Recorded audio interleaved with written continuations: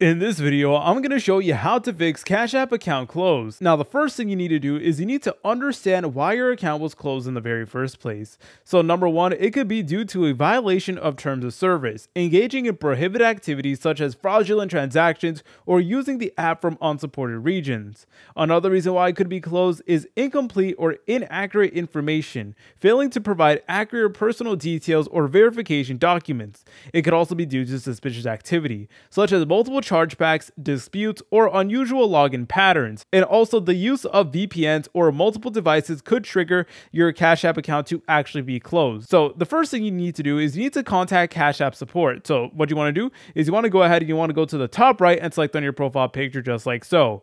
Then you want to go ahead and scroll down until you see this option that does say support. Then what you want to do from here is you want to go ahead and scroll down and you want to select on something else and then you want to go ahead and press on chat right over here and basically you want to explain to the cash app to support your situation explain to them that your cash app account was closed and stuff like that and they will let you know if it's even possible for you to get your account back so be prepared to verify your identity by the way before you even do this so please make sure you have a government issued id ready to go your social security number, and a proof of address. You need to make sure that all information matches your previous account details, otherwise this will not work.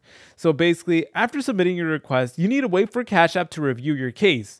Now, response times can vary. Some users report waiting several days to even several weeks, and it's a little bit unfortunate that the Cash App support really isn't the best, but unfortunately, this is just what we have to work with at the moment. But if you guys found this video helpful, make sure to leave a like and subscribe. I'll see you in the next tutorial.